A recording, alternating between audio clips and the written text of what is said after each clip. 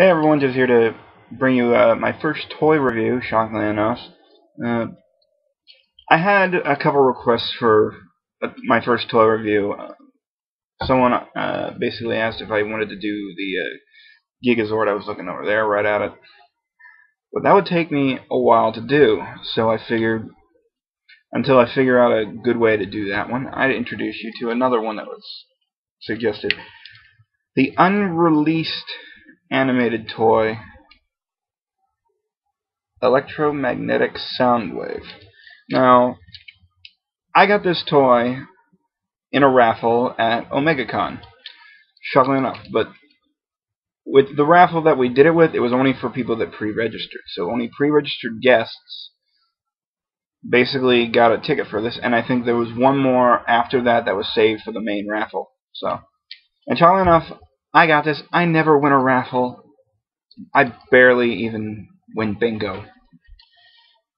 I got this guy, and thankfully I pre-registered him because he's not a bad toy. He has enough articulation in him in a sense. But right now we're going to go over the vehicle, and as you can see, he is stock white with I want to say it's like an electric green with a real dark purple for the windshields. Decepticon symbol is right there on the hood. I do kind of wish, though, that they painted the uh, power signal on him, that type of green that's on here, because I like this green. There are a lot of green Transformers out there that I do not like. The current Brawl for Bruticus. I got one up there somewhere. I don't like that shade of green. This one is very mellow. It doesn't stand out as much in the vehicle mode. You see it, but the purple is what draws your eyes to this toy. Now, this is an activator. And like most activators, you hit a button and they transform. So in this case, let's see how this one works. I can hit the button. Yeah, that, uh... Let's try this again.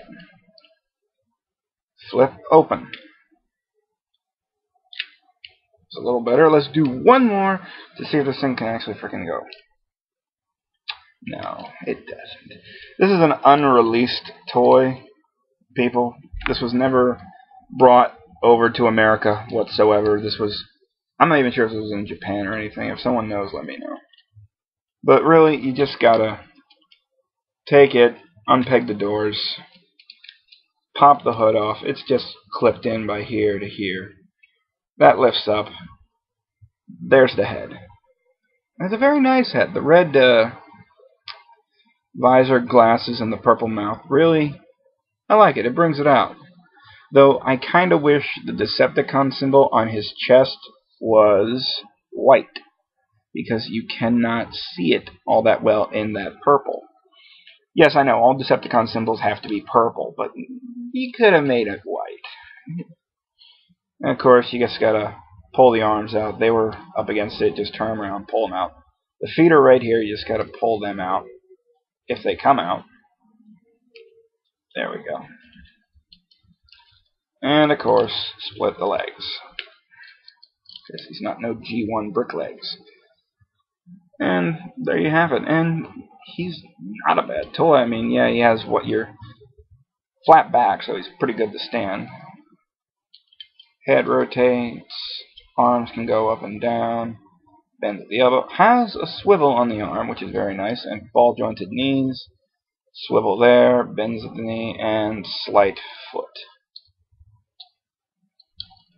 No waist. They actually could have fit a waist in there because, as you can tell, the joint for the backpack is right here, and the torso is right there. So there could have been a little bit of a waist articulation in this guy. Can I recommend him? Yeah, I could recommend him. The only thing I have to say, honestly, about him is trying to find him, because I've not looked for one.